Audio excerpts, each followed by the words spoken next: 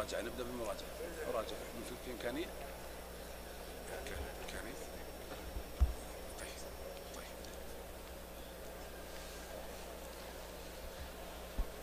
جاهزين للمراجعة؟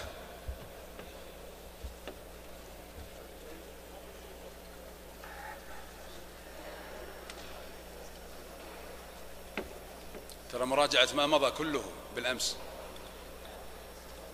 إن عادتنا أن إذا كان الدروس متتابعة نراجع في اليوم الواحد ما مضى من الدرس لكن اليوم الثاني لا نراجع كل اللي شرحنا في اليوم الماضي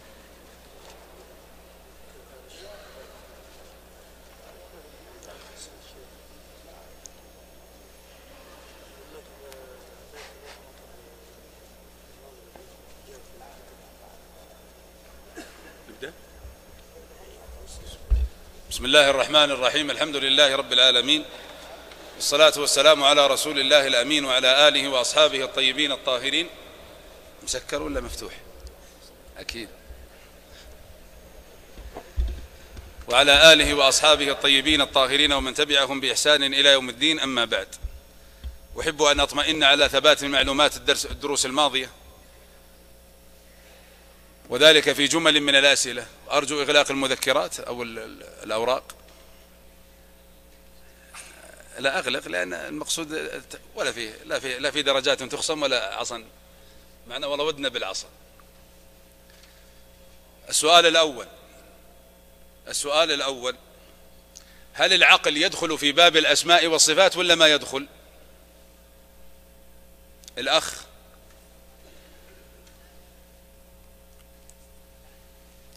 وراك تعطينيها بالتقسيط.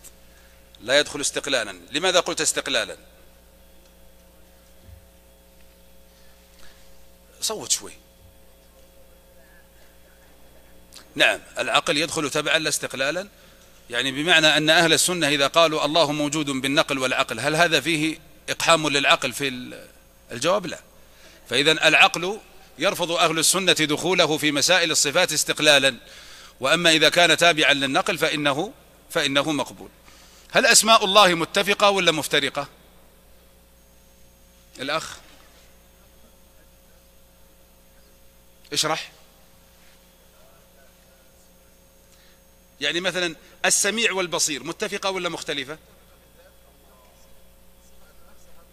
أيوة. تضرب لي مثالا يوضح أكثر؟ أحسنت. أو أسماء الأسد أو أسماء يوم يوم القيامة. أهل السنة والجماعة يتكلمون في المعاني أو الكيفيات. الأخ أنت نعم. يتكلمون في المعاني ويفوضون في الكيفيات. طيب خالفهم في ذلك طائفتان. من هما؟ تذكر؟ لا مو بالمعتزلة. طائفة يقال لهم الأخ لا لا لا تفصلون. أيوة. لا لا انتظر. فهد؟ المفوضة ماذا قالوا؟ نفوض المعاني والكيفيات. وأيضا قابلهم الممثلة ماذا قالوا؟ نتكلم في المعاني وفي الكيفيات على حد سواء أحسنت. طيب. أهل السنة والجماعة يقررون أن هناك فهما لا بد أن تربط به دلالة الكتاب والسنة. فهم من؟ ولماذا؟ فهم من؟ كل الرافع لكن ولماذا نزلت أيدي؟ الجهة هذه؟ الأخ؟ نعم فهم السلف الصالح. فكل فهم عرض فهم السلف فهو باطل. لماذا تربط الأدلة بفهم السلف؟ لماذا لا نترك الناس يفهمون الأدلة من الكتاب والسنة على ما يتفق لهم؟ لماذا؟ تعرف لماذا؟ أيوه نعم. بس اصبر شوي خلنا وراك بعيد عنا شوي. إيه، ماشي ماشي. أيوه. نعم أحسنت. أحسنت. حتى لا يستغلها أهل البدع في الاستدلال على بدعتهم ب بشيء من دلالة الكتاب والسنة. فالكتاب والسنة معصومان محميان. آه، عندنا محارات ومعارضات. درستموها أمس في قاعدة. من يركب لي القاعدة على معارضات ومحارات ومحارات ومعارضات؟ لا غيرك فعل سيد السلام عليكم. أنا الشيخ عبد أويس ها؟ زيك أويس؟ طيب تعال سلام. يا سلام.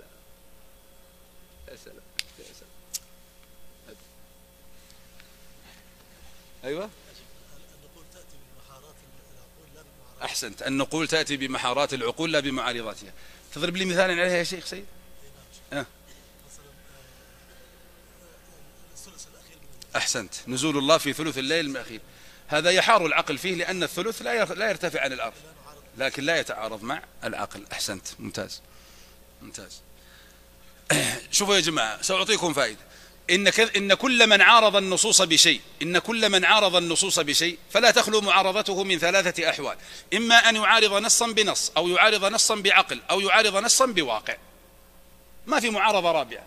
كل من قال كل من, كل من أراد أن يعارض النصوص فلا يجد إلا أن يعارض نصا بنص آخر أو يعارض نصا بواقع أو يعارض نصا بعقل فيقول هذا النص يتعارض مع هذا النص أو يقول هذا النص يتعارض مع هذا الواقع أو هذا النص يتعارض مع العقل فإذا هي ثلاث معارضات. عندنا فيها ثلاث قواعد. النصوص متآلفة النقل الصحيح لا يتعارض مع العقل الصريح النقل الصحيح لا يتعارض مع الواقع الصريح. فكل من يدعي معارضة فلا تخلو معارضته. إما أن يعارض النصوص بنصوص أخرى وإما أن يعارض النصوص بواقع وإما أن يعارض النصوص بعقل. الآن عندنا النصوص تأتي بمحارات العقول. أضرب لكم مثالا واحد فقط على معارضة النص بالواقع. في قول الله عز وجل ومن دخله كان آمنا. يعني الحرم ولا لا؟ وهل كل من دخل الحرم آمن؟ إيش فيكم؟ الجواب لا. لا يزال الناس يخافون على أموالهم في الحرم.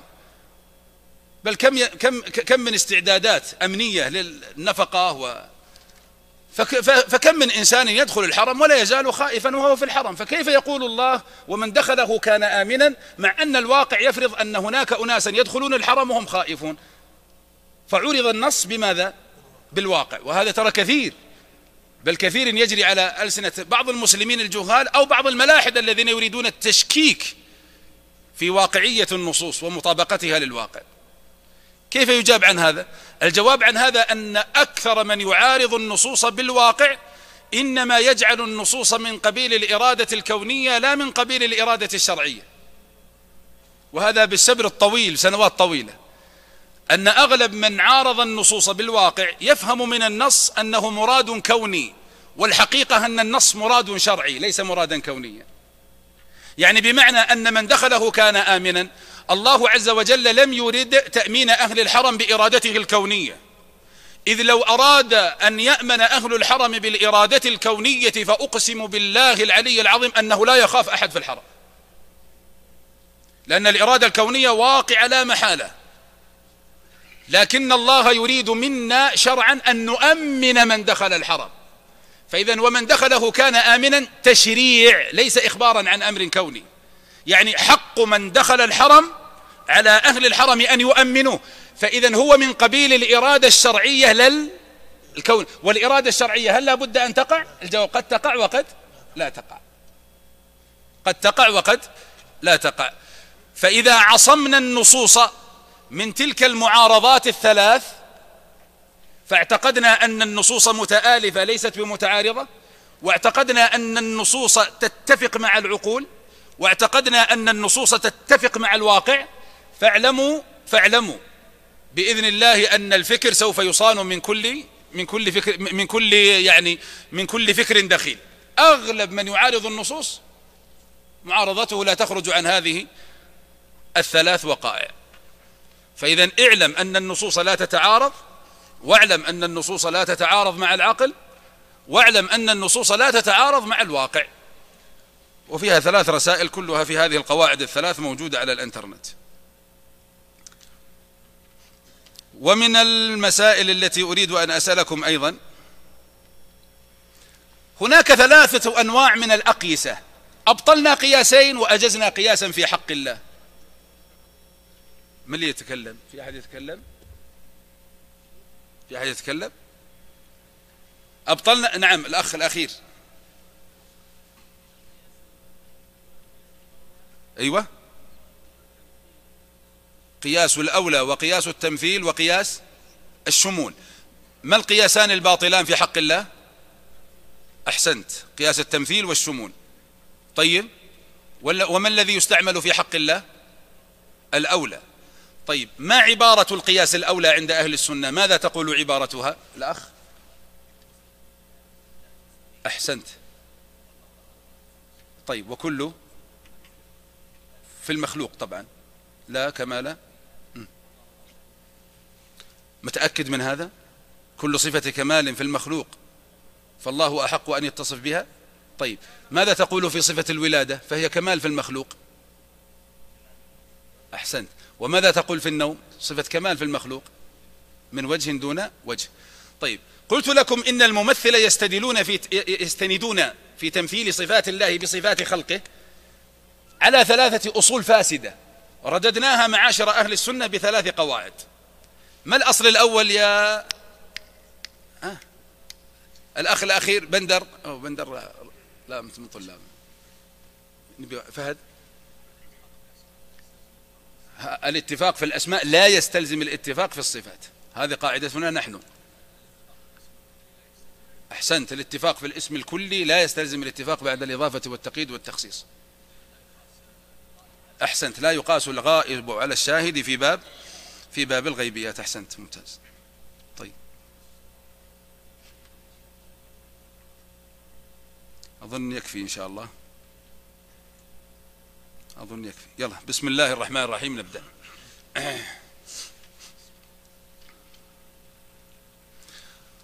من القواعد عند أهل السنة والجماعة في باب الأسماء والصفات قاعدة عظيمة تقول الأصل في نصوص الصفات بقاؤها على ظاهرها. الأصل في نصوص الصفات بقاؤها على ظاهرها. يعني بمعنى أنه لا يجوز لك أيها المسلم أن تنقل نصا من نصوص الصفات عن ظاهره إلى معنى آخر إلا إذا دلت القرينة على جواز الانتقال. فإذا جاءت القرينة الصحيحة المقبولة عند أهل السنة فانتقل عن الظاهر. وإذا لم تأتي القرينة المقبولة عند أهل السنة فالأصل هو البقاء على الظاهر حتى يرد الناقل. هذا في جميع نصوص الصفات. الأصل هو البقاء على الظاهر في نصوص الصفات. فما الذي يظهر لك في قول الله عز وجل بل يداه مبسوطتان؟ ما الذي يظهر لك؟ إثبات صفة اليدين لله فإذا يجب عليك أن تبقى على هذا الظاهر. ولا يجوز لك أن تتجاوزه إلى معنى آخر. ما الذي يظهر لك عند قول النبي صلى الله عليه وسلم؟ إن قلوب العباد بين أصبعين من أصابع الرحمن. هو إثبات الأصابع هذا هو الظاهر. فإذا يجب عليك أن تبقى على هذا الظاهر. وجاء ربك إثبات صفة المجيء. ولتصنع على عيني إثبات صفة العين. ينزل ربنا إلى السماء الدنيا إثبات صفة النزول. فإذا لا حق لك أيها المسلم أبدا أن تنتقل عن الظاهر الذي يتبادر للذهن أول وهلة من سماع النص. الظاهر هو ما يتبادر للذهن أول وهلة من سماع النص. قبل أن تأتي وساوس الشيطان وقبل أن يأتيك المشككون ما يتبادر للذهنك عند سماع النص أول مرة هو الظاهر الذي يريد الله عز وجل منك أن تفهمه من هذا النص. ولا يزال جهنم يلقى فيها حتى يضع رب العزة عليها رجله وفي رواية عليها قدمه. ظاهر هذا النص إثبات صفة الرجل أو القدم لله عز وجل. حتى يكشف رب العزة عن ساقه فيسجد له كل من كان يسجد له في الدنيا. إذا إثبات صفة الساق لله عز وجل. الحي القيوم إثبات صفة الحياة والقيومية لله عز وجل. هذا هو الظاهر الذي أجمع أهل السنة على وجوب البقاء عليه. احذر قبل أن يأتيك الشيطان تؤمن بالظاهر. لو جلست تفكر في هذا الظاهر جاءتك الوساوس والأبالسة حتى تنقلك عن هذا الظاهر. وأهل البدع كلهم ينتقلون عن ظواهر النصوص إلى معان أخرى.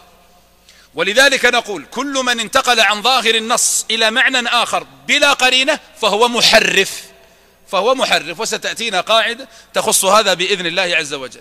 فإذا قيل لك ما التحريف قل هو الانتقال عن الظاهر بلا قرينة. فالذي انتقل عن الظاهر في قول الله عز وجل الرحمن على العرش استوى إلى الاستيلاء هذا محرف. لما؟ لأنه انتقل عن ظاهر النص المتبادر للذهن إلى معنى آخر بلا قرينة توجب الانتقال. والذي قال بأن المراد بقول الله عز وجل حتى يضع رب العزة عليها رجله أن الرجل عبارة عن مجموعة من الناس يخلقهم الله فيدخلهم النار. هذا باطل من عدة أوجه. من جملة أوجه بطلانه أنه انتقال عن ظاهر النص إلى معنى آخر بلا دليل يدل على هذا الانتقال.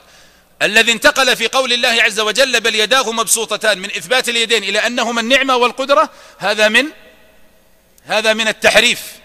فإذا كل من انتقل عن الظاهر إلى معنى آخر إلى معنى آخر إلى معنى آخر بلا قرينة بلا قرينة بلا قرينة فهو محرف. لأنه يحرف الكلمة من بعد مواضعه. يعني بعد استقرار اللفظ على معناه مواضعه يعني استقرار اللفظ على معنى. استقر اللفظ والمعنى. فجاء هذا ونقل المعنى وأبقى اللفظ. وهذا التحريف من أخطر ما تحارب به النصوص في هذا الزمان. التحريف ينقسم إلى قسمين. تحريف اللفظي وتحريف معنوي. تحريف اللفظي وتحريف معنوي. تحريف اللفظي وتحريف معنوي. أما التحريف اللفظي فهو أن ينصب المحرف على على تغيير ظاهر اللفظ. كما غير بعض الجهمية آية قول الله عز وجل ثم استوى على العرش حك زادوها لاما. زاد الجهمية لاما في المصاحف. صاروا يقرؤونها الرحمن على العرش استولى. ثم استولى على العرش. هذه لام الجهمية انتبهوا. وكما حرفت اليهود قول الله عز وجل في التوراة وقولوا حطة زادوا نونا فقالوا حنطة. فإذا عندنا لام الجهمية ونون اليهود. قال ابن القيم في الكافية الشافية نون اليهود ولام جهمي هما في وحي رب العرش زائدتان. نون اليهود في حنطة ولام جهمي في استوى هما في وحي رب العرش زائدتان. هذا التحريف مفضوح يعرفه الصغار قبل الكبار أليس كذلك؟ وأعظم من توغل فيه الرافضة عليهم لعائن الله المتتابع. فإنهم من أعظم طوائف الطوائف التي تنتسب للإسلام تحرف. ولم يقتصر تحريف الرافضة على حرف ولا حرفين بل حرفوا سورا كاملة.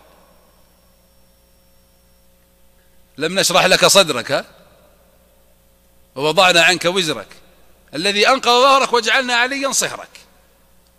ويقولون بأن أبا بكر وعمر قد أخفيا سورة الولاية وهي في آياتها كسورة التوبة أو أزيد. فالشاهد أن التحريف اللفظي مفضوح. لكن الذي نعاني منه إلى الآن هو إيش؟ التحريف المعنوي. وهو أن يأتي المحرف ويبقي اللفظ على ما هو عليه. لا يغير فيه شيئا ولا يزيد ولا ينقص منه. لكن يسلب دلالته الصحيحة ويقحم مكانها دلالة باطلة. يسلب دلالته الصحيحة ويقحم مكانها دلالة باطلة. لا لا تتحرك. يسلب دلالته الصحيحة من يكمل؟ ويقحم مكانها. طيب ما الفرق بين التحريف والتعطيل؟ انتبه. التعطيل هو سلب الدلالة والتحريف هو إقحام دلالة جديدة. فمن المحرفين فمن من أهل البدع من يسلب الدلالة الصحيحة ويفوض المعنى ولا يقحم شيئا آخر. فهذا معطل وليس بمحرف. ولكن من أهل البدع من؟ يسلب الدلالة الصحيحة ويجعل مكانها دلالة باطلة. أنا أسألكم بالله أيهما أخطر؟ أخطرهما أعظمهما مفسدة. الآن المعطل عنده مفسدة وهي سلب الدلالة الصحيحة لكن المحرف عنده مفسدتان سلب الدلالة الصحيحة وأقحم مكانها دلالة باطلة. فإذا احذر من أن تتجاوز ظاهر النصوص. ابن تيمية رحمه الله تعالى في التدمرية عقد قاعدة قال هل ظاهر النصوص مراد أو ليس بمراد؟ هل ظاهر النصوص مراد أو ليس بمراد؟ السؤال الآن لماذا عقد ابن تيمية هذه القاعدة على صيغة السؤال؟ لما لم يقل ظاهرها مراد ويجزم؟ لما قال هل ظواهر النصوص مراد أو غير مراد؟ الجواب عن ذلك وقد ذكرته في شرح التدمرية أن كلمة الظاهر صارت من الألفاظ المجملة التي يستعملها أهل السنة وأهل البدع. فالمبتدع يقول الظاهر من قول الله عز وجل بل يداه مبسوطتان أنها النعمة والقدرة. هو يقول كذا يقول ظاهرها عنده كذا.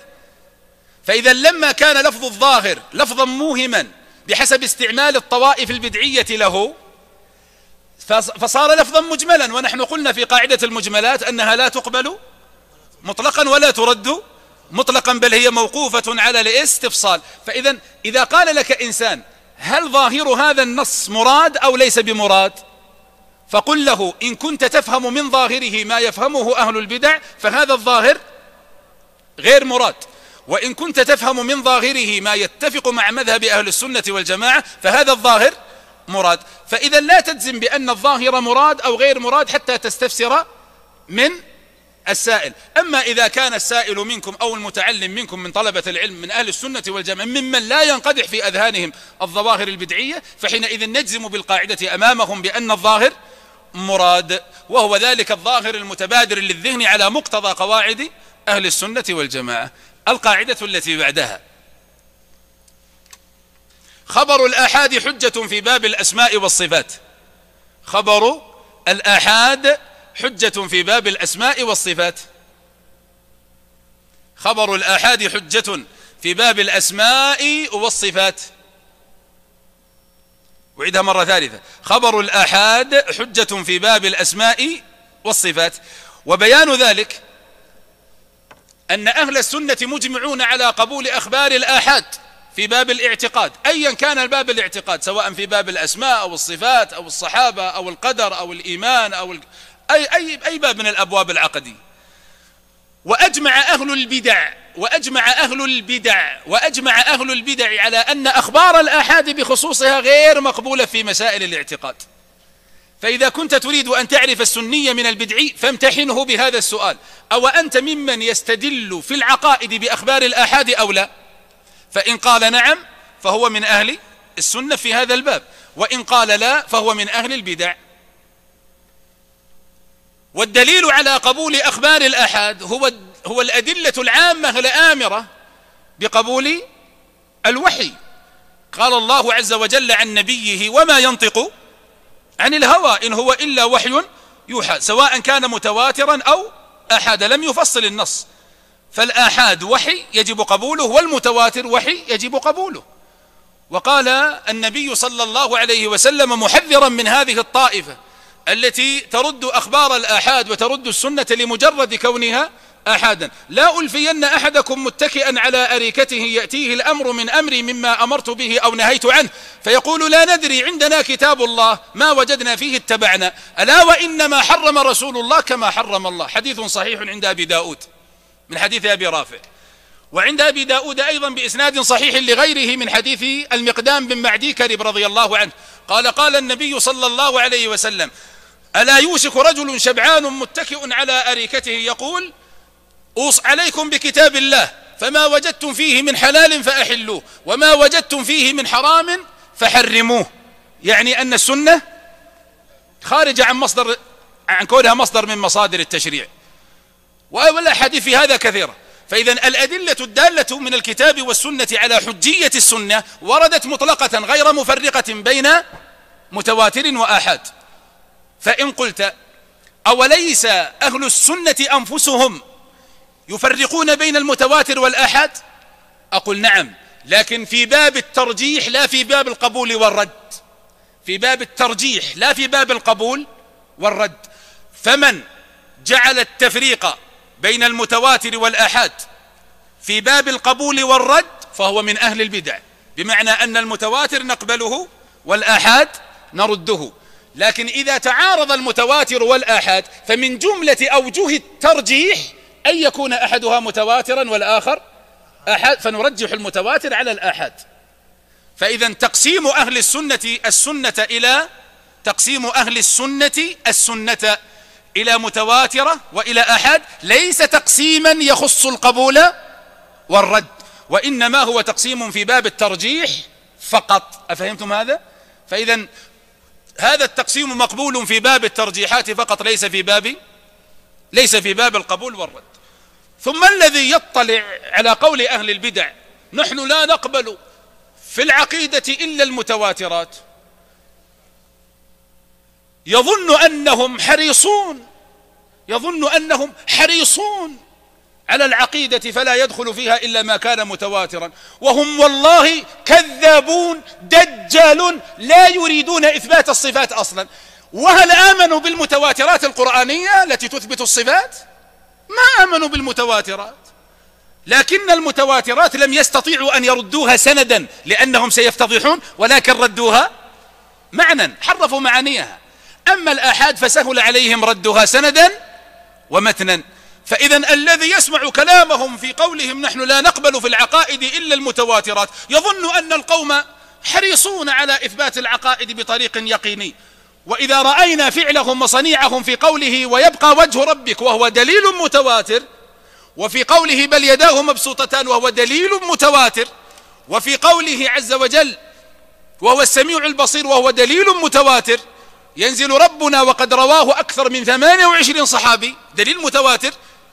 رأينا أن القوم لم يؤمنوا لا بمتواترات ولا بأحد. ولم يثبتوا لا ما أثبتته المتواترات ولا ما أثبتته الآحاد فإذا الرد الأهل البدع حديث الآحاد في باب الاعتقاد ليس من باب الحرص بل هو من باب التخلص. ليس من باب الحرص على العقيدة بل من باب التخلص. وهم لو استطاعوا أن يردوا المتواترات لردوها لكنهم سيفتضحون. فقالوا اقبلوا المتواترات في ألفاظها ها؟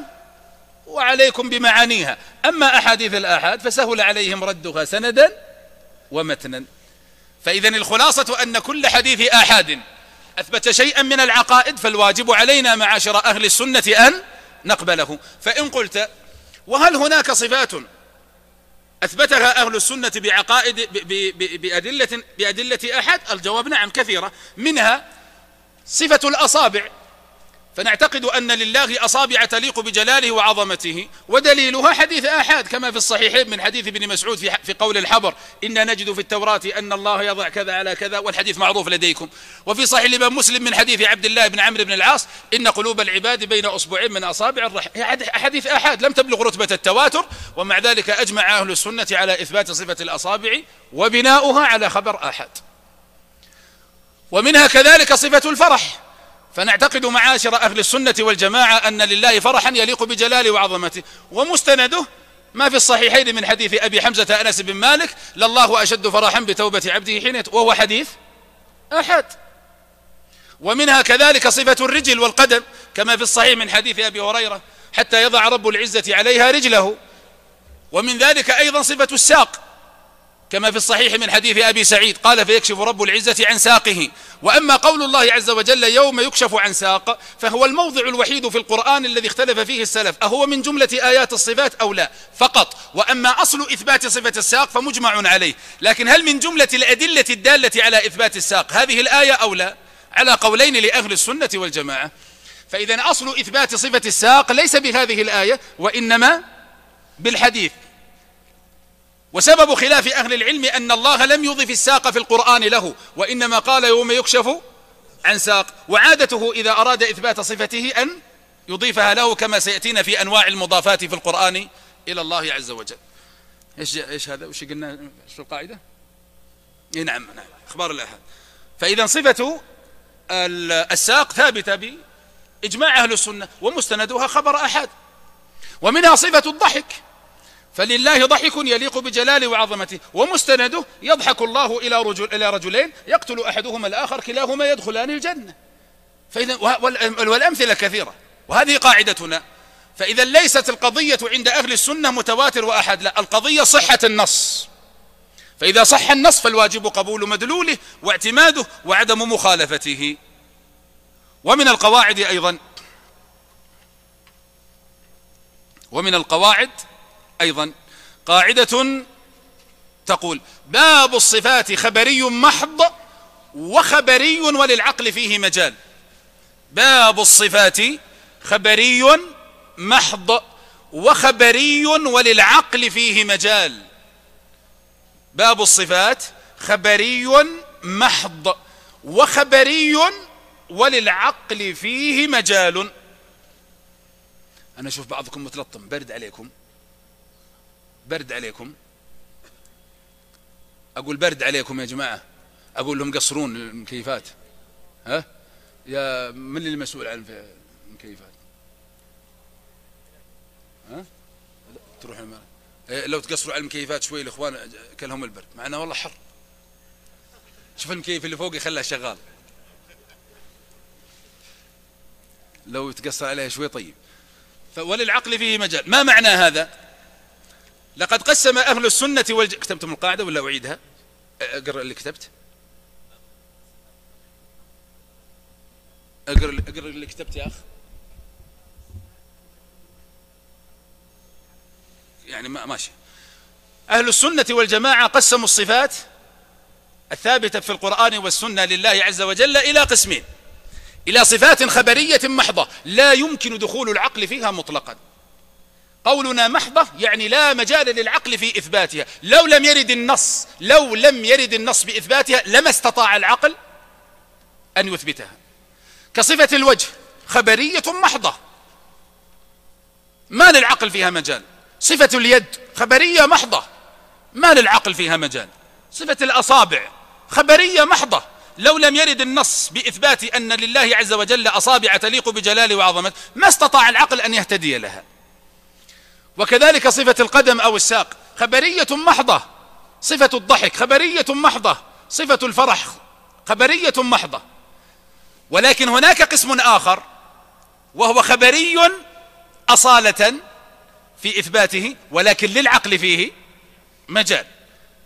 بمعنى أننا نثبتها لله نقلا أصالة وعقلا تبعا. نقلا أصالة وعقلا تبعا. واضحة عبارتي؟ شلون واضحة؟ كيف واضحة؟ يا سلام عليك. تحياتي لك. ممتاز. الله يعين اللي قدامي. فأكثر أسئلتهم. مثل صفة العلم. أصل إثباتها لله عز وجل بالنص. لكن لو لم يرد النص بإثبات العلم لله أو يستطيع عقلك أن يثبتها أيضا؟ الجواب بلى. العقل فيه مجال. وهو أن العلم صفة كمال في المخلوق والله هو الذي أعطاه هذا الكمال ومعطي الكمال أولى بالكمال. هذا إثبات عقلي. وكذلك نقول إنه يبعد جدا أن يكون صانع هذا العالم ومبدع هذا العالم ذي الأفلاك العظيمة الهائلة وهذا النظام الدقيق البديع يبعد أن يكون من خلقه. لا يوصف بأنه عالم فإذا للعقل فيها مجال. ليس العلم كصفة الأصابع لا. وليس العلم كصفة الوجه.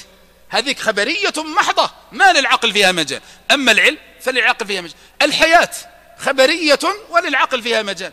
هل يمكن أن يكون من خلق هذا الخلق البديع ميتا أو يوصف بالموت؟ سبحانه وتعالى. سبحانك هذا بهتان عظيم. فيستطيع عقلك أن يثبتها. لكن لا استقلالا وإنما تبعا. فتقول دل على حياة الله النقل والعقل. السمع النقل والعقل. العلو النقل والعقل. فإذا صفات الله خبري إما خبرية محضة وإما خبرية وللعقل فيها وللعقل فيها مجال. هذه قاعدة لن نطيل عندها. القاعدة التي بعدها.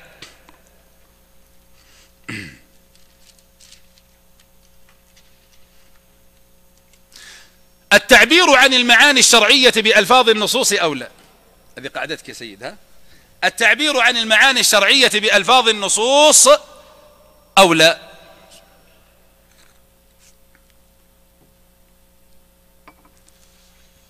متى ما رأيت الله عز وجل في القرآن أو النبي صلى الله عليه وسلم في صحيح سنته؟ قد عبر قد عبر قد عبر. عن عقيدة من العقائد بلفظ من ألفاظ النصوص فاحرص أنك كلما مررت على هذه العقيدة أن يكون, أن يكون تعبيرك عنها بنفس تعبير النص. احرص. نصيحة أخيك الصغير لك. إياك أن تتجاوز ألفاظ القرآن والحديث في التعبير عن المعاني الشرعية. فليس هناك لفظ أفضل في التعبير به عن شيء من المعاني الشرعية من ألفاظ النصوص. وبهذا تستفيد فائدتين. الفائدة الأولى انقطاع الخصم عن المعارضة. لأنه لو كان تعبيرك عن العقيدة بكلامك أنت فأنت تفتح مجالا للخصم أن يناقشك في رأيك. ظنا منه أنه مجرد رأي أو مجرد أطروحة أو مجرد كلام. لكن إذا قلت قال الله بل يداه مبسوطتان انقطع. الفائدة الثانية أنه أحفظ للعقيدة من دخول ما ليس منها. أنه أحفظ للعقائد من دخول ما ليس منها أو فيها. فإنك قد تعبر عن العقيدة بعبارة أنت لجهلك أو لضعف إدراكك يدخل في عبارتك, في عبارتك هذه شيء من الاحتمالات أو شيء من التناقض. لكن إذا عبرت بعبارة النص فاعرف أنك سوف تعبر عن العقيدة بالنص الذي يريده الله عز وجل. فلهاتين الفائدتين قرر أهل السنة أن التعبير عن المعاني الشرعية بألفاظ النصوص أولى نذهب للفقه قليلا ثم نرجع للعقيدة. وما أجمل الفقه. أنتم تعرفون قاعدة الأمور بمقاصدها ولا لا؟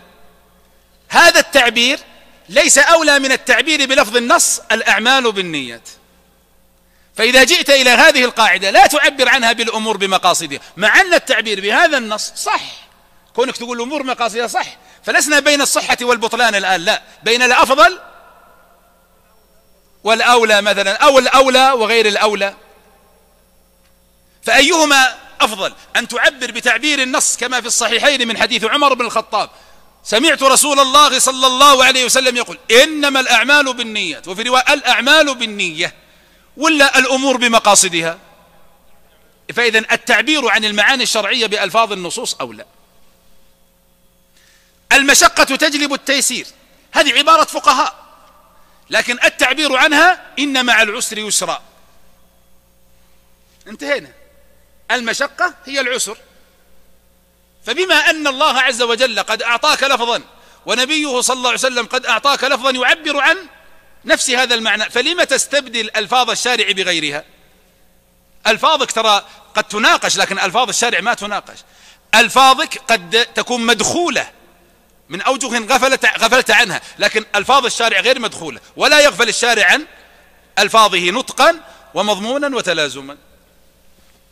صح ولا لا يا جماعة؟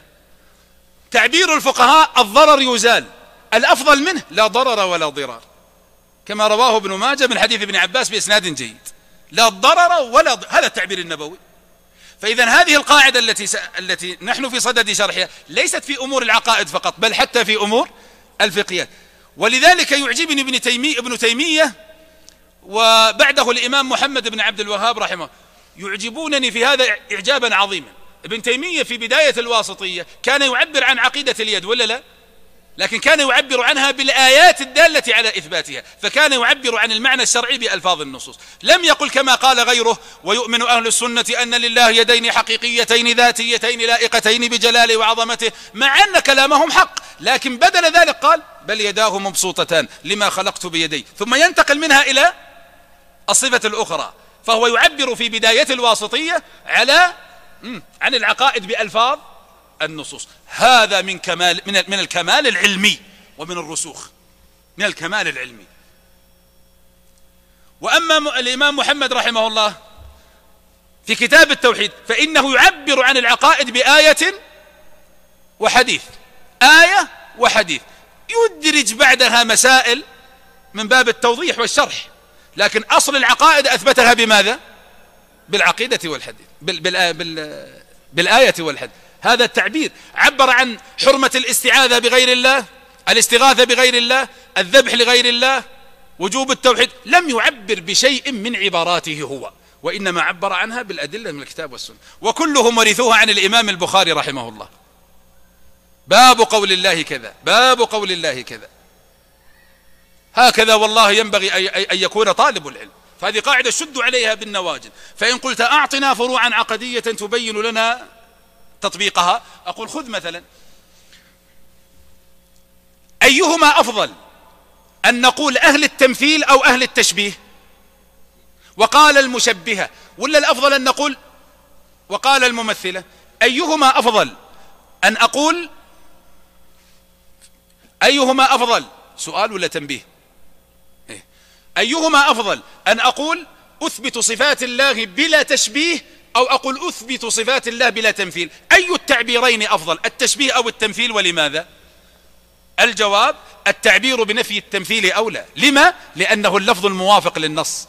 فلا تضربوا لله الأشباه الأمثال. فإذا الله نفى الأمثال. وكذلك قول الله عز وجل ليس ها كمثله ولم يقل كشبهه. ليس كمثله شيء وهو السميع البصير. فإذا التعبير عن المعاني الشرعية بألفاظ النصوص أولى خذ فرعا آخر. هل التعبير بالتأويل أفضل أو بالتحريف عن نقل الكلام من ظاهره إلى معنى آخر بلا دليل؟ هل أقول هذا تأويل أو أقول هذا تحريف ولماذا؟ الجواب الأولى والأفضل أن أعبر عنه بإيش؟ بالتحريف. لما؟ لأنه لفظ القرآن يحرفون ولم يقل يؤولون. فإذا تسمية المؤولة بالمحرفة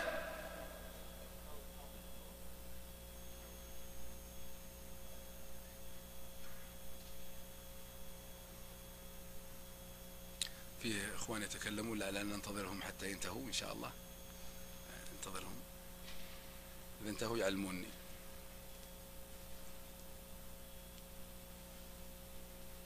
انتهيتوا؟ انتهيتوا؟ لا ليتكلموا انتهوا. انتهوا ما ما ما أسمح ما أسمح لأحد يتكلم في حلقتي. ما ما أسمح لأحد يتكلم في حلقتي ابدا. إما أنا أتكلم وأنتم تسكتون أو تست... أو يستأذن أحدكم ويتكلم وأنا أسكت. لكن أنا أتكلم بالفوائد. وأنت تتكلم أيضا بفوائد. ما تصادمت تصادمت. فأنا أرجو من أراد أن يتكلم جزاه الله خير فهو في حل من الحضور. في حل من الحضور. أما أن يتكلم أمامي لا. وأنا أبي مثل ما دخلنا بالمعروف نتطلق بالمعروف. يعني نروح بالمعروف ما نزعل أحد. وإذا كان أصد عن صاحب الخطأ حتى لا يعرف. تحفظ كرامته. لكن لو كررها أرجو أنه يعذرني. لا أسمح لا بالجوال ولا بالنوم ولا بالمحا وش الفائدة إحنا ما جينا للفائدة وش نقول أصلا؟ إيش رأيك محمد؟ التحريف أولى ولا التأويل ولماذا؟ لما؟ فإذا نقول أهل التحريف ولا أهل التأويل؟ أهل التحريف. ولأن لفظ التحريف لفظ مذموم لا وجه حسن فيه. وأما التأويل ففيه وجه حسن. أرأيت؟ له ثلاث معاني. معنيان مقبولان عند أهل السنة إجماعا والمعنى الثالث هو المردود. فالتأويل بمعنى حقيقة الشيء التي يؤول إليها مقبول بإجماع أهل السنة وهو معنى التأويل في القرآن. ذلك تأويل رؤياي أي حقيقتها. فكل لفظة تأويل تأتيك في القرآن فمعناها حقيقة الشيء. هل ينظرون إلا تأويله؟ يعني حقيقته. ذلك تأويل رؤياي حقيقتها. ذلك تأويل ما لم تسطع عليه صبرا أي حقيقته. والتأويل الثاني التأويل بمعنى التفسير وهو قول الإمام بن جرير الطبري رحمه الله القول في قول الله في تأويل قول الله كذا وكذا كذا وكذا. لكن التأويل بالمعنى الثالث لا يعرفه أهل السنة وإنما أول من أحدثه المتكلمون من أهل البدع. وهو التأويل بمعنى الانتقال من ظاهر الكلام إلى معنى آخر بلا قرين هذا التأويل ما يعرفه السلف. فإذا لماذا نقول أهل التأويل؟ فنحن نمدحهم بذلك. إذ التأويل فيه معنيان ممدوحان. لكن لو قلنا أهل التحريف انتهينا. خصصناهم بما هم يتقنونه وهو تحريف الكلم عن مواضعه. فإذا وصيتي لكم يا إخواني أن تعبروا دائما عن المعاني الشرعية بألفاظ النصوص ومن القواعد أيضا.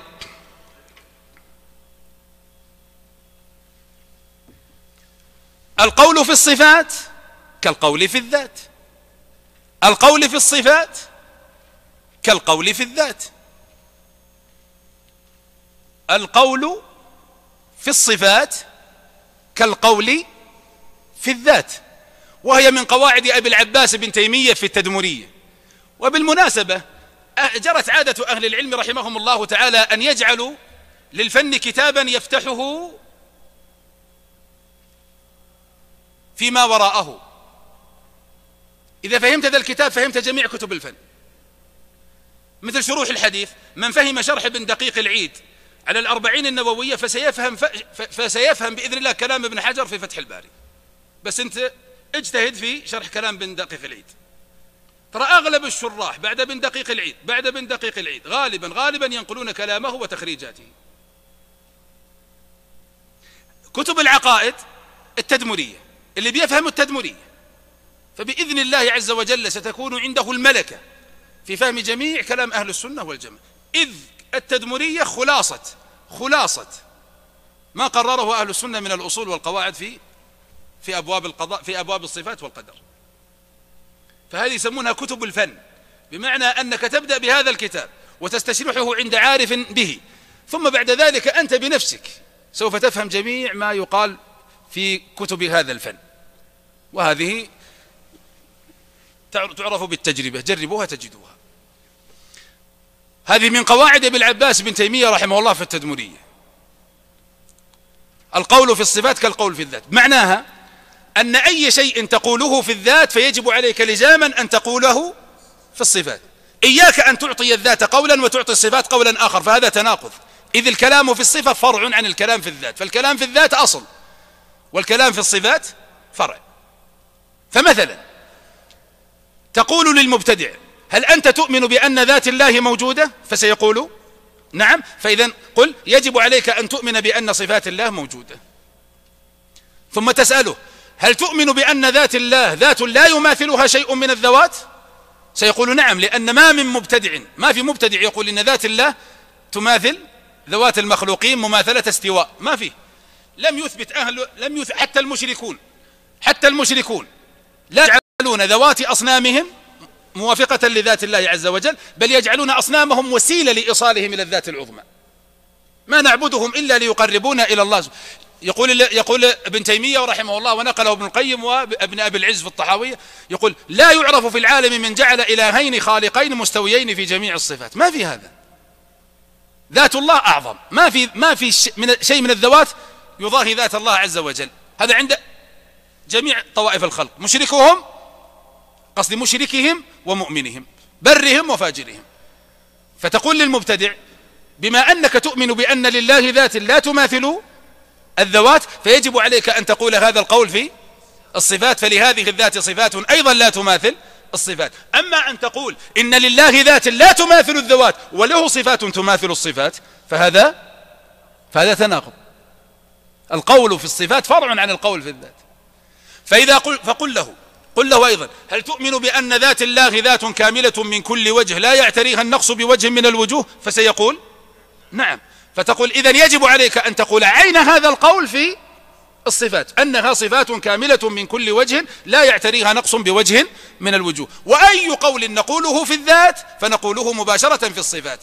فأي مبتدع يفرق بين الذات والصفات فإنه حينئذ يقع في التناقض ويفرق بين بين متماثلين والمتقرر في قواعد الدين أن الشريعة لا تفرق بين متماثلين كما أنها لا تجمع بين مختلفين. واضح القاعدة؟ طيب. من قواعد التدمرية أيضا وهي قاعدة أخرى ذات رقم جديد القول في الصفات كالقول في بعضها. القول في الصفات كالقول في بعضها. القول في الصفات كالقول في بعضها. قاعدة عظيمة من قواعد ابن العباس في التدمرية. القول في الصفات كالقول في بعضها. بمعنى نحن الآن ما نتكلم عن الذات نتكلم عن الصفات فيما بينها بعضها البعض. أي صفة تعطيها كلاما فالواجب عليك أن, أن تجري هذا الكلام في جميع الصفات. إياك أن تعطي هذه الصفة, هذه الصفة قولا ثم إذا جئت في الصفة الثانية تعطيها قولا آخر. وهي من أعظم القواعد التي ترد على المفرقين في إثبات الصفات وهم الأشاعرة الذين يؤمنون بسبع صفات عقدها الإمام السفاريني كما قلت لكم بالأمس له الحياة والكلام والبصر سمع إرادة وعلم واقتدر. هذه سبع صفات يؤمن بها الأشاعرة ويعطلون باقي الصفات. فالأشاعرة ما يثبتون الرحمة ولا يثبتون الكراهية ولا المقت ولا الغضب ولا الرضا ولا الاستواء ولا العلو. يؤمنون بهذه السبع الصفات فقط. فإذا هم يفرقون بين الصفات وبعضها. فتأتي هذه القاعدة رادة عليهم أن القول في الصفات كالقول في بعض. بمعنى أنك تأتي للأشعري وتقول أيها الأشعري أسأل الله أن يهديك. أنت تثبت سبع صفات أوليس كذلك؟ فسيقول نعم. انتبهوا لي فسيقول نعم. فأول سؤال تسأله تقول له بالله عليك نورني بالفرقان بين ما أثبت وبين ما نفيت. ما الذي جعلك تثبت هذا؟ وترد هذا. لك الحق أن تطالبه بالفرقان. فسيقول لك أحد فرقانين. سيقول لك أحد فرقانين. إما سيقول لك إن الصفات التي أثبتها لا تقتضي مماثلة الله بخلقه والصفات التي نفيتها تقتضي مماثلة الله بخلقه. هل هذا فرقان صحيح؟ جواب لا. فتقول له آه صحيح. إذا أنت أثبتت الحياة لأن إثبات الحياة لله لا يقتضي مماثلة الله بخلقه. وأنكرت الوجه لأن إثبات الوجه لله يقتضي مماثلته بخلقه. فيقول نعم هو كذا. بارك الله فيك على الفهم. جزاك الله خير. نقول تعال. ولما أثبتت صفة الحياة لله أصلا؟ مع أن المخلوق له حياة. فإذا كان إثبات الحياة مع وجود فإذا كان إثبات الحياة لله مع أن المخلوق متصف بالحياة لم يقتضي منك أن, تنف أن تنفيها عن الله. فكذلك قل في صفة الوجه أن لله وجها وللمخلوق وجه ووجه الله لائق به. كما أن الله له حياة وللمخلوق حياة ولكن حياة الله عندك لائقة به. فما الذي أعانك على هذا القول الصحيح في الحياة وخذلك في صفة الوجه؟ القول في الصفات كالقول في بعض. القول في صفة الوجه هو بعينه عفوا القول في صفة ال ال الوجه هو بعينه القول في صفة الحياة. الذي قلته في الحياة قله في الوجه وتسلم. فيقول لك لا لا لا. أنت ما فهمت. وأنا أثبت الحياة على وجه على وجه لا يقتضي مماثلة حياته بحياة خلقه.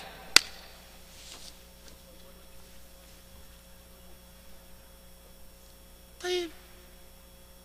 هذه القاعدة قوية.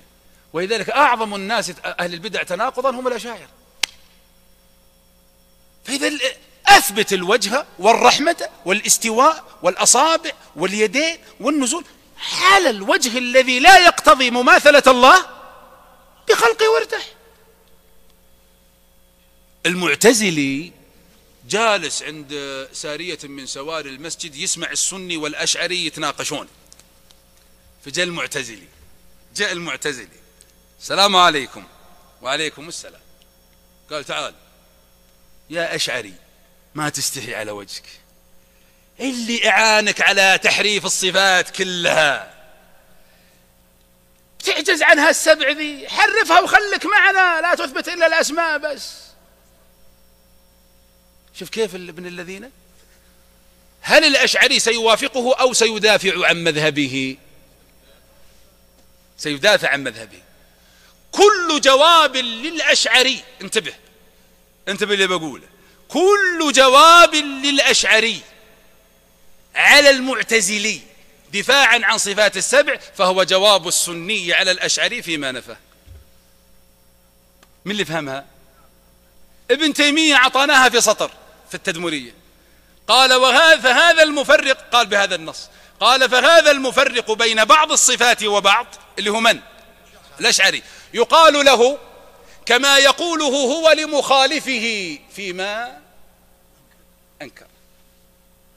فهم؟ مخالفي من يقصد؟ المعتزلي.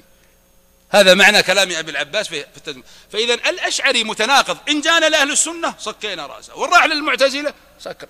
فيقول فيقول يا إنك تثبت السني يقول يا أشعري اللي أعانك على إثبات السبع بيعينك على إثبات الباقي. والمعتزلي يقول لا يا أشعري اللي أعانك على إنكار الباقي. مسكين. وهو مذبذب لا إلى هؤلاء ولا. فلا هو أنكرها السبع وارتاح. أستغفر الله مو بقصدي. يعني وراح مع المعتزلي ولا هو اللي أثبت البقية وارتاح. من إنكار أما أن يفرق بين بعضها وبعض فهذا التناقض. فهذه القاعدة قوية. ترد عليه برد لا محيص له ولا مناص عنه. وأما تفريقه الثاني فهو يقول أن الصفات التي أثبتها اقتضى العقل ثبوتها والصفات التي أنكرتها اقتضى العقل إنكارها فهذا قد أجبنا عنه بأنه لا مجال لل هذا أجبنا. لكن قصدنا الفرقان الأول. أفهمتم القاعدة؟ أي قاعدة؟ أي قاعدة فهمتموها؟ أي قاعدة؟ لا لا. لا خلنا خلنا نصيد لنا واحد غافل. أي قاعدة أي وين الغافل وين الغافل وين الغافل وين الأخ اللي منزل عيونه. يبون نظاراتي الأب بدون ما تشوف لو سمحت. أيوة. أيوة. كالقول في بعضه. هذه هي القاعدة التي نشرحها. طيب ومن القواعد أيضا. هذه كلها أصول في التدمرية. انتبهوا لها واحفظوها وراجعوها يا أخوان تجدون خيرا عظيما. عظيما جدا عند أبي العباس بن تيمية رحمه الله. أنا ما ألوم أهل البدع في بغض أبي العباس. لو كنا من أهل البدع لأول رجل ننصب عليه بالبغض أبو العباس. يا أخي ما ترك لهم لا قنطيرا ولا قطميرا ولا أساسا ولا جدارا إلا اتبعه يضربه بسيفه. وأذكر أن بعض مشايخنا ونحن نقرأ عليه بعض كتب ابن العباس كان يبكي. يبكي الشيخ. يقول والله لو لم يسخر الله الأم أبا العباس للأمة في الرد على هالشبه ما عرفنا نرد عليها. يأتي إلى قواعدهم من من من الأساس فيخر عليهم السقف من فوقهم. فيها جمع صغير لي اسمه تربية الملكة على كشف الشبهة والرد عليها. ما أدري الإخوان أدخلوه في الإنترنت أو لا. وهي الطريقة التي كان أبو العباس يكسر أصول أهل البدع بناء عليها. الطريقة التي كان أبو العباس يكسر أصول أهل البدع بناء عليها. في مئة فرع في مئة فرع حتى تتضح للطالب. طيب. ومن القواعد أيضا ومن القواعد أيضا أظن شاهيكم يا أخوان صار عصير. إن شاء الله. في ما شاء الله برد. احلال المكيفاتنا أول. قم يا أيها الطالب طف المكيف طق طق طق خلاص. كذا هذا وين وين الزراره مع هذا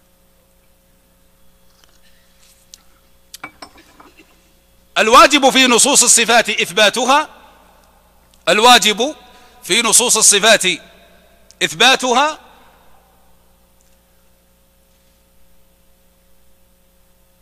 وقطع دابر المماثلة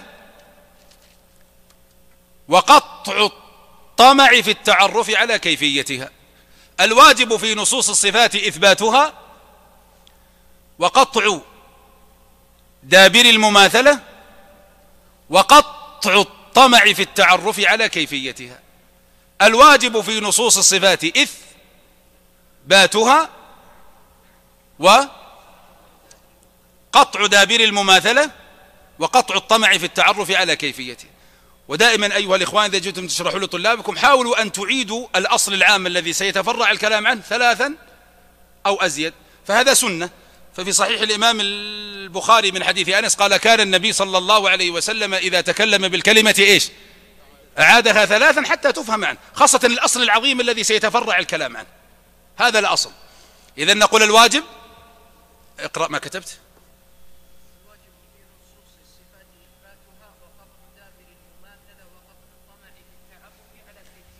هذه من أعظم قواعد الصفات عند أهل السنة والجماعة ولي فيها مؤلف صغير.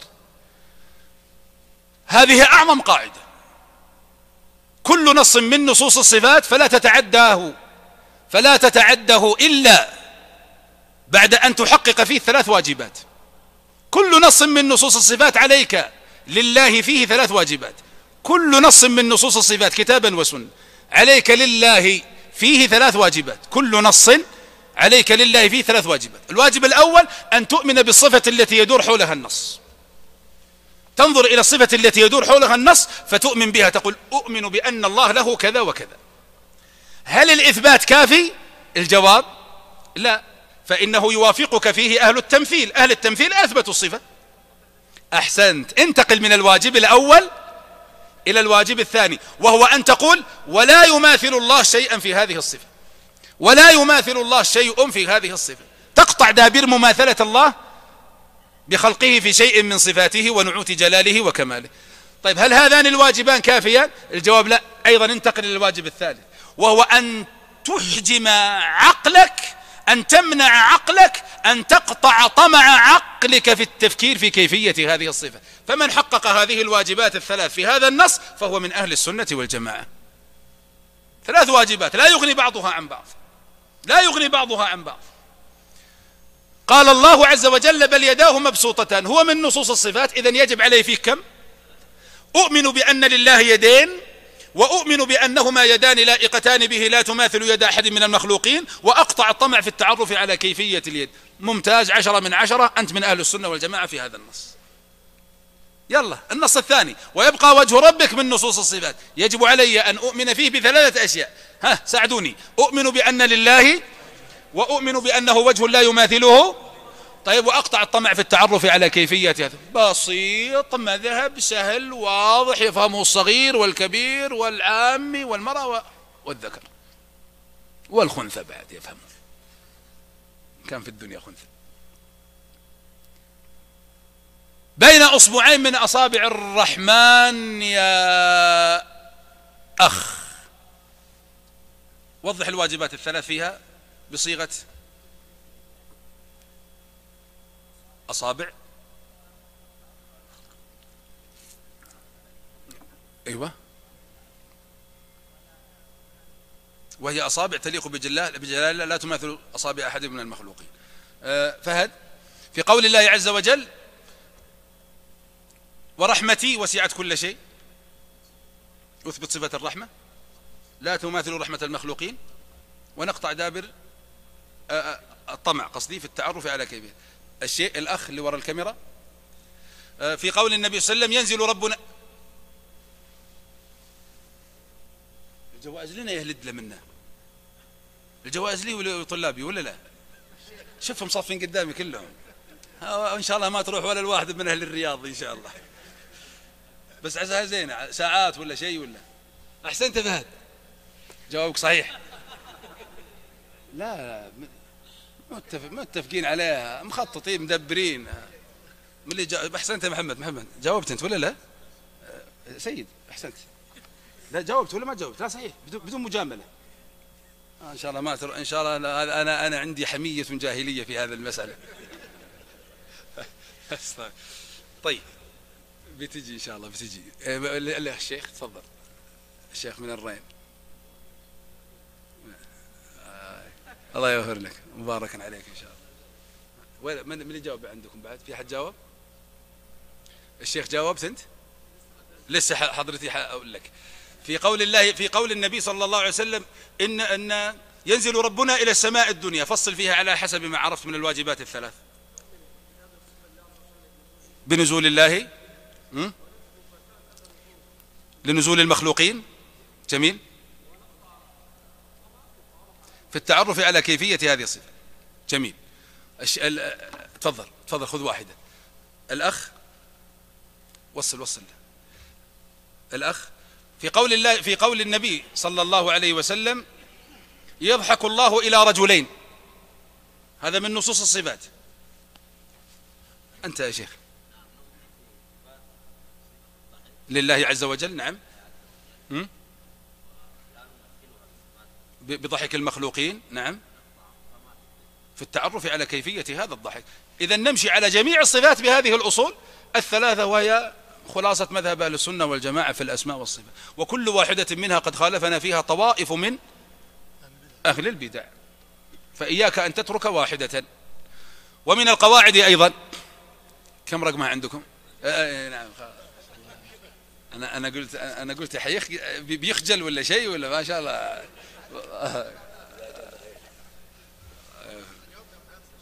ها؟ ذاك على ما قضينا وهذا على ما نقضي. الله يجعلنا وإياكم من من أهل الحق وممن الثابتين عليه. ترى اللي يثبت على الحق في هذا الزمن الذي كثرت فيه المغريات وكثرت فيه الفتن والشهوات والشبهات ترى الله هذه كرامة من الله. ثباتك على الحق في هذا الزمن ترى كرامة. أكثر أكثر من دعاء الله عز وجل بالثبات. وأعظم ما يوجب الثبات هذا العلم. وهذه تلك الأصول التي بها تكون أسلحة. يتعبد العبد بها ربه على بصيرة ويستطيع أن إيش؟ يجابه أصحاب الشبهات ويرد على أصحاب الشهوات. أما أن يبقى الإنسان المسلم خلوا خلوا من هذه القواعد والأصول وصدره كالأرض المتسعة يزرع فيها أهل الباطل باطلهم وليست عنده أسلحة ولا ردود. ما أقصد أسلحة حسية أنا ما ندعو للتسلح وإنما أسلحة معنوية. العلم. العلم العلم يا إخوان. أعظم ما يحتاجه الناس الآن العلم. المؤصل على دلالة الكتاب والسنة وفهم سلف الأمة. هذا من أعظم ما يدحر الأعداء ويكسر شبهتهم ويقطع دابرهم. ولذلك الشيطان الشيطان بنفسه يخاف من العالم. ما يخاف من العابد اللي يسجد في الليل والنهار ويصوم النهار كله. لا العالم العالم. العالم هو الذي يخيف الشيطان ويخيف حزب الشيطان العالم. أنا بكلمة واحدة يهدم أصولا كثيرة بدعية. جاء الشي... قد أراد الشيطان تقريرها في سنوات متعددة. يأتي العالم في جلسة واحدة يكسرها. فإذا أحوج ما نحتاجه الآن العلم العلم العلم. احرصوا على العلم. لا تزهدوا في العلم. قراءة حضورا تحقيقا مطالعة سؤالا حفظا تأملا نظرا. ما يمر عليك يوم إلا, إلا وقد تعلمت فيه شيئا. فكل شيء تتعلمه سيكون حزام أمان إن شاء الله لك وللأمة بإذن الله من الانزلاق في شيء من بحار. الشهوات ومستنقعات الشبهات من القواعد أيضا الواجب في نصوص الواجب في الصفات المنفية نفيها وإثبات كمال ضدها. الواجب في الصفات المنفية نفيها وإثبات كمال ضدها. الواجب في نصوص الصفات نفيها عفوا في الصفات المنفية نفيها وإثبات كمال ضدها. وهذه قاعدة واضحة ظاهرة ولله الحمد والمنة. إن الصفات في القرآن والسنة إما صفات إثبات أو صفات نفي. إما صفات يثبتها الله له وإما صفات ينفيها الله عنه. أليس كذلك؟ الواجب في نصوص الصفات ثلاثة.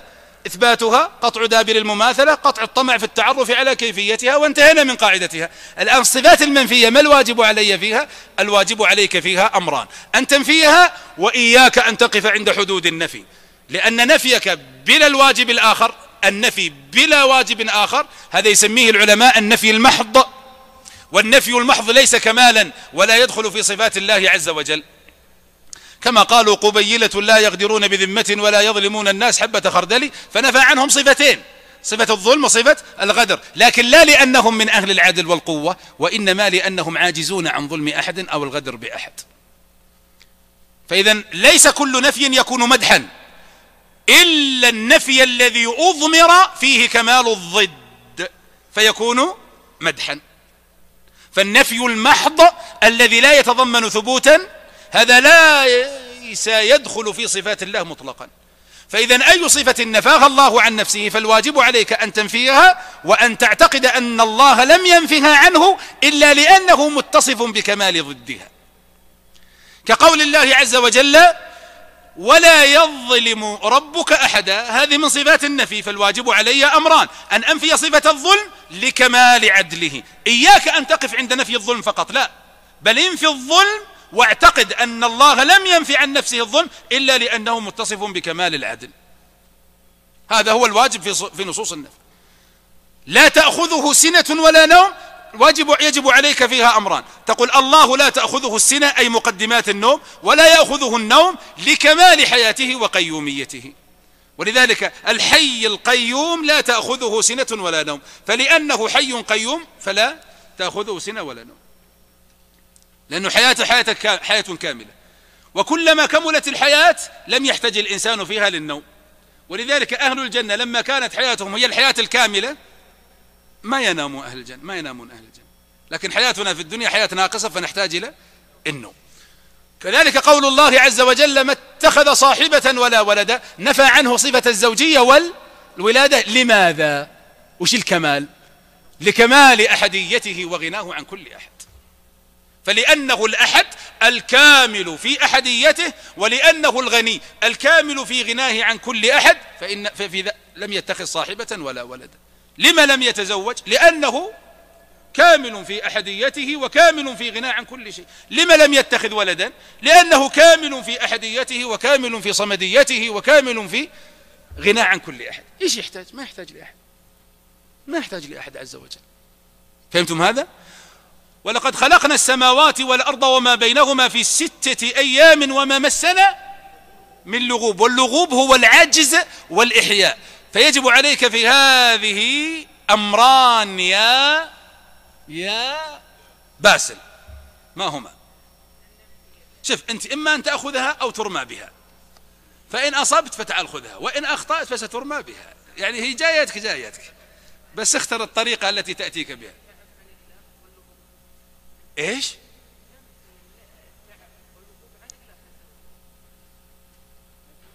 صحيح. طيب. طيب. طيب يا أخي لا تنفخ طيب. طيب لا تنفخ طيب. أيوه. ثم؟ تعال خذها مع قبلة بعد. قبلة إسلامية إن شاء الله. شفت ابعد ابعد عن الماصة عشان يلا. طيب القبلة. لا لا خلاص خلاص مو لا خلاص خلاص امزح معك. آه الله يغفر جزاك الله خير يا باسل.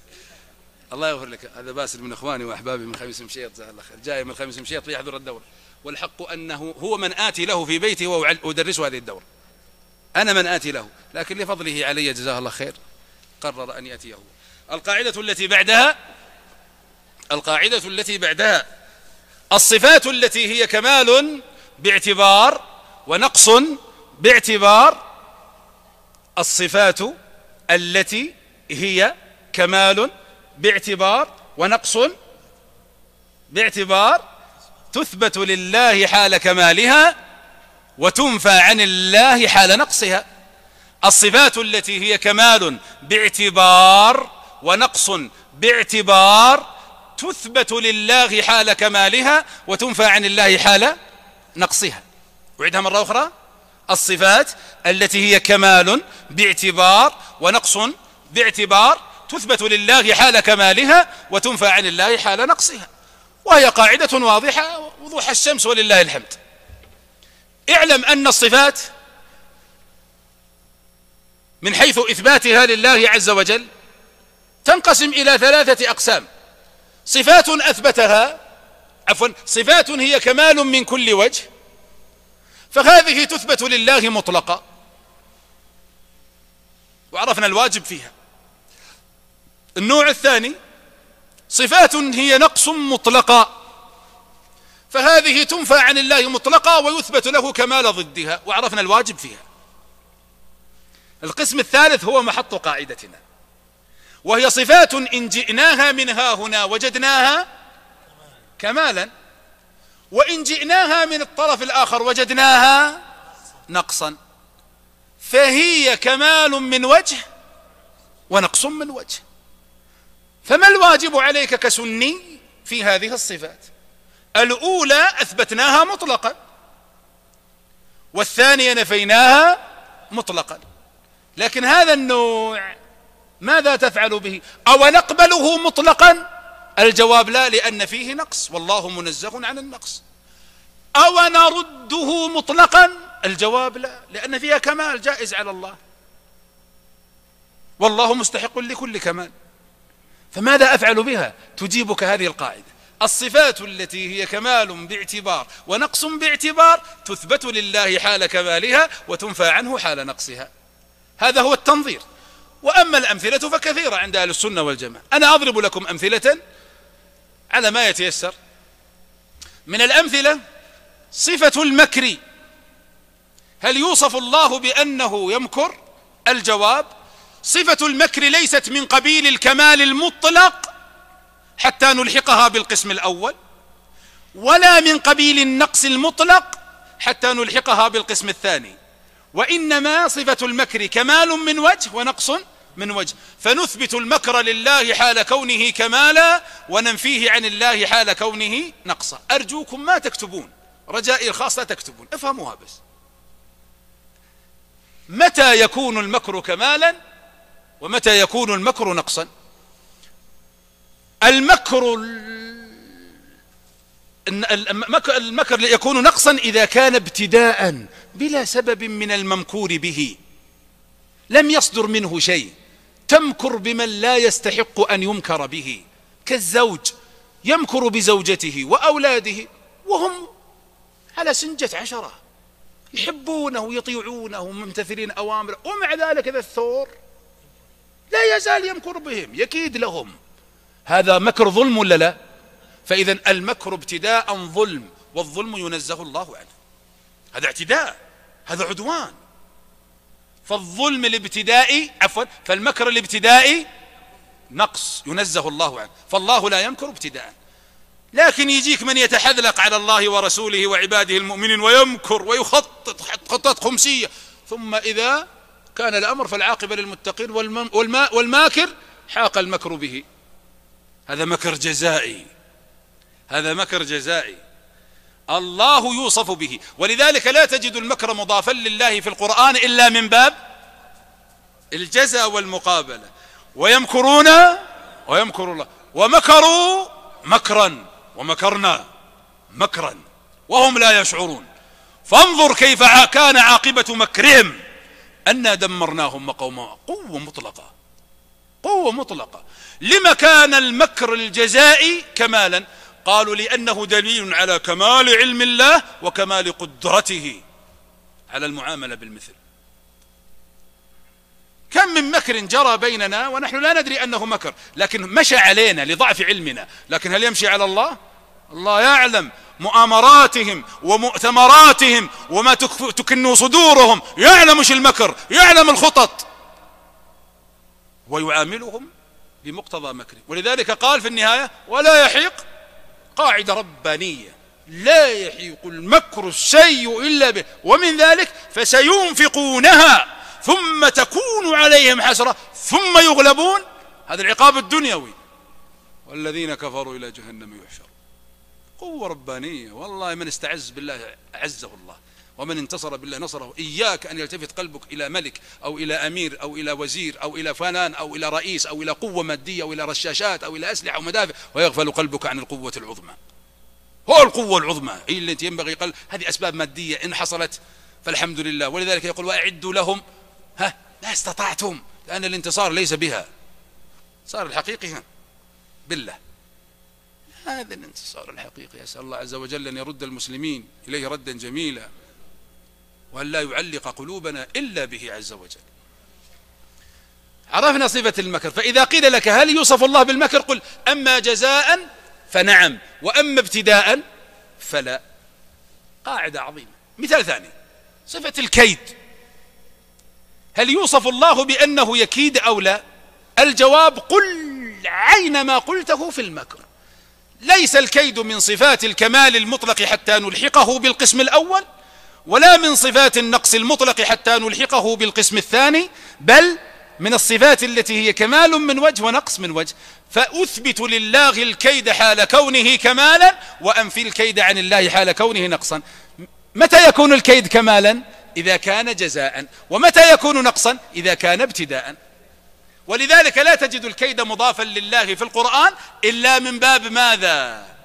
الجزاء والمقابلة كما في آخر سورة الطارق إنهم يكيدون كيدا وأكيد كيدا. فماهل الكافر؟ شديد المحال هو عز وجل.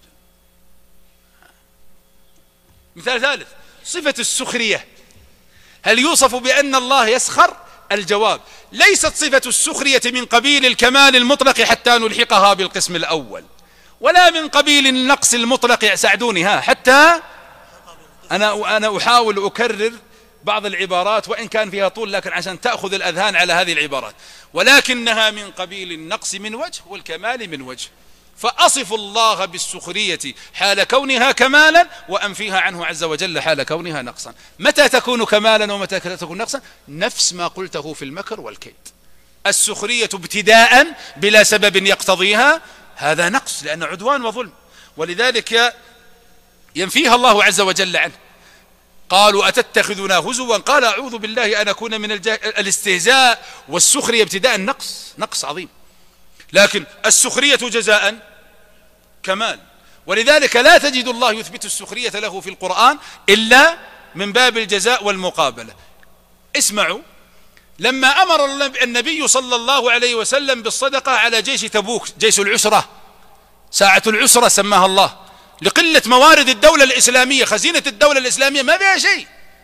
وفي عدو شرس ولا يقابل ويجابه إلا بالقوة المادية المالية والعتاد.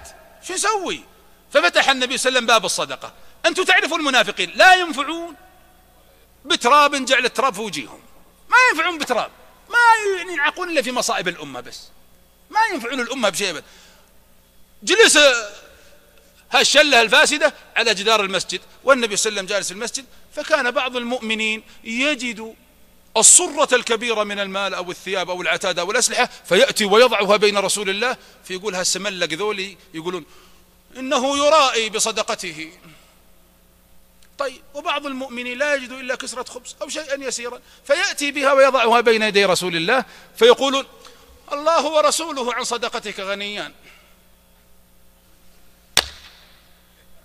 فلا سلم المتطوعون أهل الصدقات الكثيرة ولا الذين لا يجدون إلا جهدهم سخروا منهم.